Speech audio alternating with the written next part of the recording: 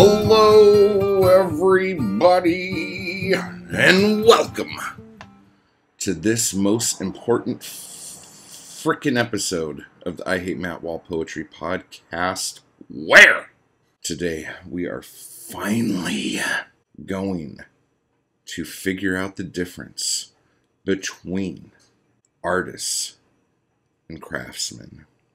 Okay, because I know you guys were all like staying up late at night going, God, I wish I knew the difference between artists and craftsmen. But now you're going to know, so everything's going to be fine. You could shut the fuck up. Okay, so this is going to be great. This is going to be good. I almost have enough caffeine to make this fucking actually happen. But because Bucks made fun of how long it takes me to do an intro, he said it takes me 16 minutes to do an intro on an episode where it took him 37 minutes before he even got into his episode. I need to hurry this up. I got to get the show on the road, the roadzo. So the first thing we're going to do here before me telling you that you need to go over to iTunes and give this show five motherfucking stars. Now we'll just do that now. Go do that thing. I want to give a big thank you to all of the motherfuckers who do the right thing, who know that this content does not come free, who carries the ball for your broke asses and make sure that you can get this content and continue to be a broke ass while they pick up all the slack of you being a fucking loser. Okay, so let's give a big thank you to those fuckers real quick here. I want to give a big thank you to you motherfuckers over on Patreon. You know who you are. Michael, Deborah, Cedar, Harry, thank you guys so much. You guys are awesome. Want to give a big thank you to all the motherfuckers over in the thank you crew on the tubes. Thank you, Patrick. Thank you, Britt. Thank you, JH. And thank you, Jan. You guys are cool as shit. Thank you. And now for the biggest of the heavies over in the fucking Anarchy crew. I want to give a big thank you to to Bunny, to Nate, to Mindy, to Hannah, to Thomas, to Tim J, to Lisa, to Josh, to Shaylin, to Tim G, to Chill Baby, and to Tamara. You guys are fucking awesome. And you know what? I keep misplacing this, but I want to give a big thank you to Jessica as well. So thank you drum roll please, for the um, fucking number one chappie over in the Chapbook of the Month Club. Now, here's the deal we have a number one chappie, and now we're having another chappie who's coming in. So these two are either going to both be the number one chappie, or I'm not going to be able to say number one chappie anymore. But I want to give a big thank you to Caitlin. You are King Tut Shit. Thank you so much. And I know the SDG's coming right back. But anyway, now that all of this has been said, the most important thing you guys need to do is remember that your mom needs you. Your mom cannot do what your mom needs to do without you helping your mom out. And if you want to just make your mom think you're a piece of garbage, continue doing what you're doing, which is nothing. But if you want your mom to at least to your face, not think that you're a total disgrace and a loser. You need to get over to igg.me slash at slash your mom, spelled Y-E-R-M-O-N, and make sure, and I said M at the end there, right? Yeah, okay.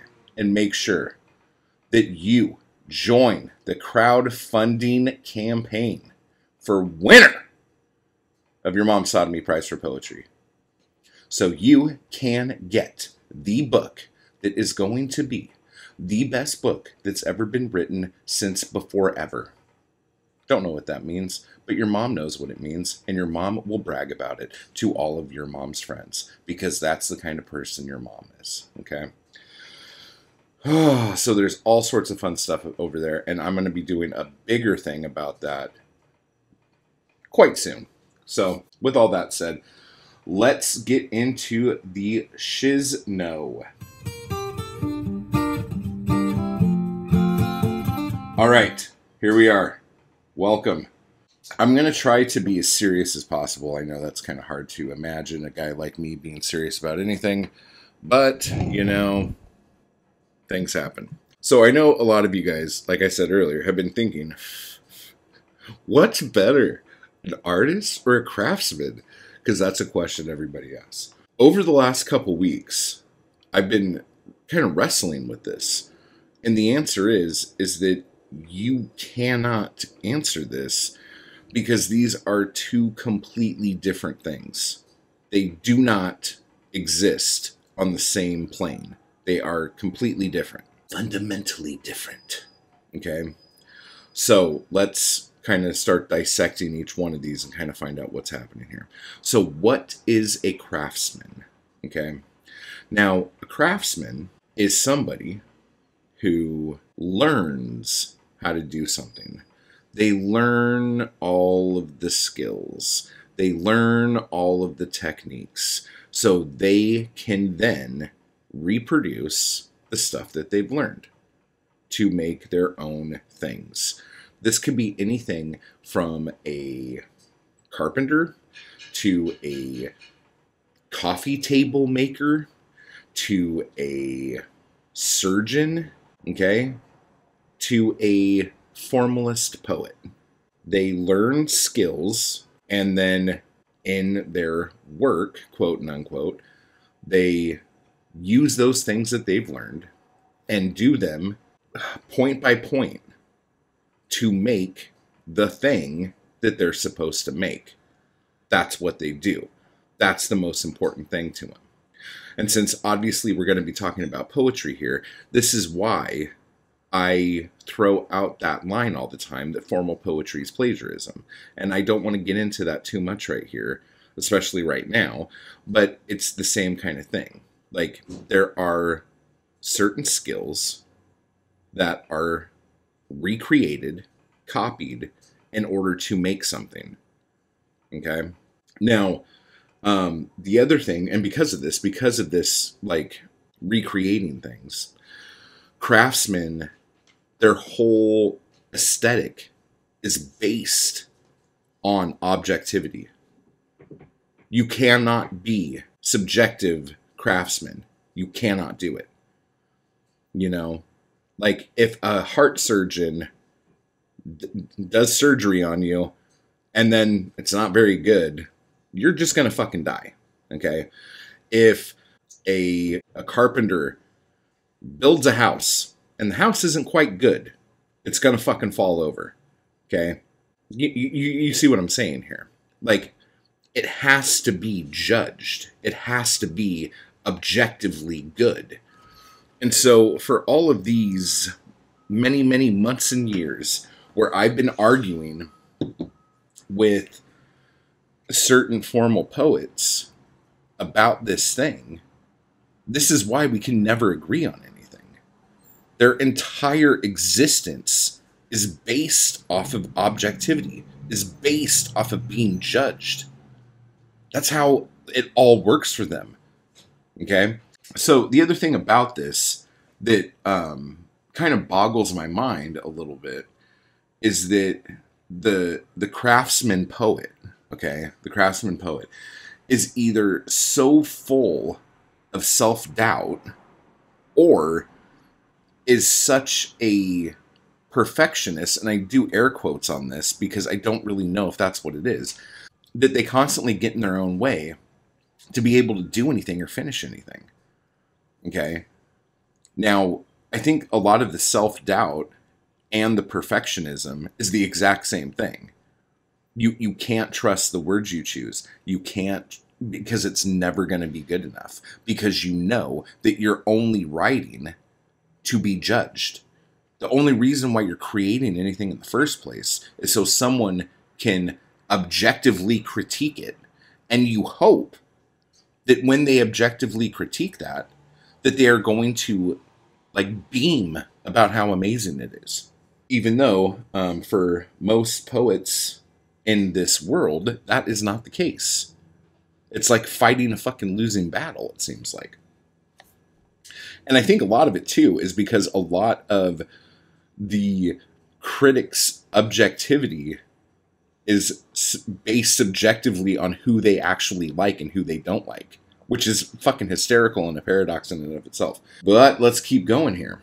So, because these craftsmen poets take so long to do the things that they're supposed to do, which is write poems, because it takes them so long to do this, and because they're taught that you can only write possibly maybe one or two decent poems in a year, they have all this fucking spare time.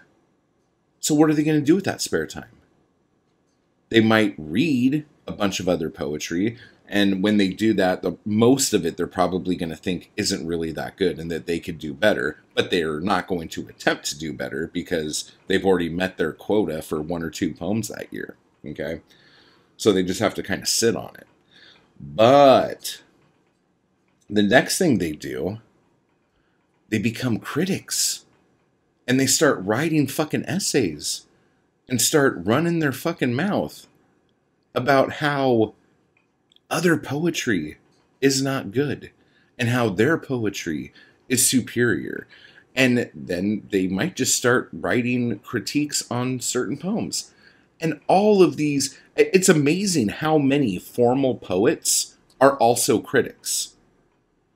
And the only reason why they are is because they're fucking bored. They've been taught that they can't write that much and they can't publish that frequently. So what do they have to fucking do? Well, I'll talk shit on everyone else's stuff for a little bit. It's fucking hysterical. My, my thing would, would always be like, if you don't think poetry out there right now is very good, write better poetry. Spend your time with your craft and make better fucking poems. I mean, it's craft based. You have the fucking recipe to do it. So just do it. Jesus Christ. Can you imagine like Chef Ramsay like in the kitchen like starting something because he's hungry and then halfway through going yeah, I don't know. I don't know about this. I don't. Uh, I'm, I'm not gonna. I'm not gonna cook this week. That's a little too much for me. Or a doctor performing open heart surgery. Like halfway through, the doctor's like, I don't know. I'm not really feeling how I did this thing. Mm, I need to step away from this for a minute. I need to put this in a drawer. Can you guys just keep the chest open for me and keep the oxygen on them? I'm going to go outside and see if I can see a bird get inspired before I come back. Okay? Because that doesn't happen. But I'm talking to you about craftsmen who know how to do the craft. So why don't they do the same thing that these craftsmen poets do? Because craftsmen poets have been taught by academia that they shouldn't be putting too much shit out and they should take some time, you know? And the funniest thing about that is a lot of this idea that you should do this comes from motherfuckers like hundreds and hundreds and hundreds of years ago. Like, oh, Horace said nine years you wait before you put a poem out. And everyone's like, yeah, it sounds pretty solid. Jesus Christ. Come on, guys. All right. Oh, let me explain. Let me talk about this a little bit for you here. So, there was this dude, this amazing poet that everyone fucking loves and cherishes and all this shit. He just put out a poem. Like, it just got published in some fucking magazine. Okay. He puts it out, and he hasn't been published. He hasn't published anything in 10 years. 10 years. Okay and everyone was super excited to read this poem. This is crazy. You would think that this fucking rock star motherfucker coming out with a new poem in 10 years, everyone's going to read this poem and think it's the fucking second coming. Okay? People read the poem. Did people love it? Maybe. Did people not like it very much? Maybe. Did people say publicly that they thought it was okay, but then behind closed doors talk a bunch of shit on it? Probably. So here's the thing. If in 10 years, when you finally put a new poem out, and it isn't the most well received thing in the world, why not just put shit out all the time if your like ultimate goal is mediocrity? You know what I'm saying? If it doesn't matter, it doesn't matter. You could put out subpar shit all the fucking time. And the fact that this poet made a comment when the poem came out, well, if you're a fan of mine, you're probably not going to love this poem, or something along those lines. He's basically telling you, I know you're not going to like this, but hey, I'm going to say something to make me sound like I'm above it and not give a shit. Fucking hysterical. Oh my god. Dude, if I fucking paid to fucking go like a $100,000 plus to go to fucking school to learn to be a poet and then paid a bunch more money to be in a fucking MFA program, okay?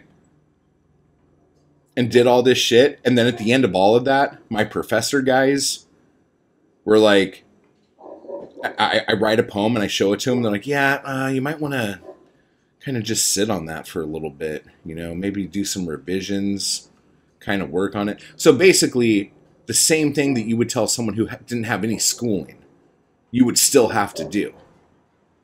So if this is the case, then all of this education is worthless. Like, why are you not able to succeed at the top of your craft after going through all of the education for it? Is it subjective? Because you would think that if you went through all of that objectively, you would be able to do the thing that you paid to do. This whole thing is like the biggest scam. It's ridiculous. Anyway, okay, I'm not gonna. But here's the deal academia needs something to judge, critics need something to judge. So having an objectified art is very important to them. Because if it isn't, and you don't care, you take all the power away from them, and they have nothing to do. They have nothing to bitch about. They have nothing to hang their hat on. But if they cultivate a entire group that's core focus is pleasing other people and people thinking that like your opinion of their work means more means more to them than them just doing the work then you created quite a little cult that you're going to make a shit ton of money on. So good job there. That, that sounds like a good way to do it. Anyway, anyway okay so now we've talked about what a craftsman is okay? We've, we've talked all about this now now we're going to talk about what an artist is okay an artist is somebody that creates and does something because they have no choice. They do it because there's an urge, there is a compulsion, there's something that pushes through them that is almost greater than they are to happen, to explode, to blast out on everything. Okay? That that is what an artist is. Art is completely subjective. Art is anything to anyone when they are creating it. Art is anything to anyone when they are taking it in as a viewer, a connoisseur, or whatever. It could be anything to anyone because it is subjective. It's art. Artists create and create and is, are constantly doing things, which is why they typically don't have time to constantly read everything there is to read, to constantly study everything there is to study, and more often, and, and more importantly, I should say, don't have enough time to bitch about all the stuff that the craftsmen bitch about. You know what I'm saying? And the reason why is because they're busy doing. They're they're making. They're creating. And when you spend time bitching about others, it takes away from the time that you could be creating. And as someone who has been spending a lot of time bitching about people who are never going to change their minds because they're not even the same person, I've made a lot less art since I've been concerned with having debates with motherfuckers. I really, really have and it's driving me crazy. Academia hates true artists because they cannot judge them. They can, but usually the artist doesn't fucking care. And if the artist doesn't care about the judgment or the opinion from the academic or the critic, it leaves them feeling empty because their only power is in telling you that they think something of your work. And if you don't give a shit, what are they? What are they left with? They are nothing. They're absolute nothing. They're not even dog shit on a shoe because that's something. They are nothing. They have no point. They do not even exist. Do you see what I'm saying? Now, usually when this happens, what the judge, what the critic, what the academic does is they go straight to, well, why don't I just minimize this whole body of work? Why don't I minimize this entire school of thought? Because that way, if I diminish what this thing is, I don't have to worry about it not accepting my critiques of it. So if I say, well, this isn't really a thing, but this over here, this is a thing.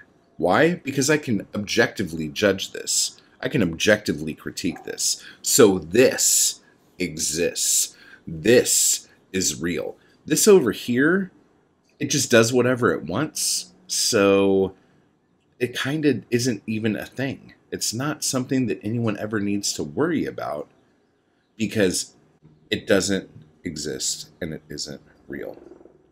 Okay. So now that I have figured this out, that the craft poets of the world aren't even playing the same fucking game as I am. We're not even in the same fucking zip code. I really don't give a shit anymore. I was trying to talk to craft poets as artists, and they're not and they're never gonna be because that's not what they're here for. That's not what they're into. Craft poets have no intention of ever actually making art. They don't give a shit. That's not what they signed up to do. You know what I'm saying? So, like, for me, me being an artist, this is who I am. This is my fucking soul. This is my blood this like I fucking ooze it, and when it fucking happens, it fucking explodes. When I get a fucking light bulb above my head, my whole fucking world goes dark except that light bulb until that light bulb turns out, and then the lights in my life come back on. And it's compulsion. Like I almost have absolutely no control over it. Okay? Whereas for the craft poets, this is just something else that they do. This is like their kind of fun hobby. It does not drive them, it doesn't consume them, it doesn't control their life. And I'm not saying that one is better than the other, but I'm saying that one is not art and one is. One is a skill and one is an art. That's it. So there's no need to ever argue this again. Craft poets of the world, go unite, do something else. Because seriously, all you guys do is come up with different arguments on how free verse poetry isn't poetry. Free verse poetry is an oxymoron. You know, if you want your formal poetry to be better received, if you want formal poetry to be more popular, if you want any of these things, just fucking write better poems and write more of them so people know that they're fucking happening. But just like writing one or two poems a year and then bitching for six months that the other exists, no one cares. So um, I don't know if I'm going to continue down this road because we, we got here somehow. Okay.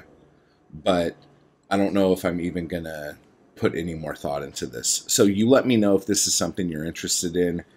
And if you guys want to hear me talk about this stuff more and get into more granular detail, I will. So just send me an email. I hate. If not, then we could all talk about bigger and better things that motherfuckers care about. And while I create fucking art, um, I will use a craftsman coffee table to hold my coffee while I fucking actually create something from deep inside my fucking soul. Okay. But I will probably have that coffee table my whole life. And it'll be a good coffee table. There's nothing wrong with that coffee table. so, anyway, so um, on with the butt plugs.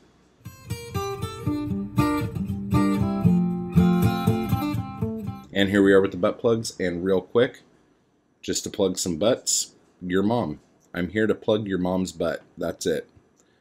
Go over to igg.me slash at slash your mom. There will be a link down below. Go over there and check out all the cool perks and things that you could get. There's things from all my paperbacks to all my chapbooks to stickers to photos to um, me writing your mom a note. I'll do it. I'll do it right now. Okay. So let me know what you want to do. Get in on that.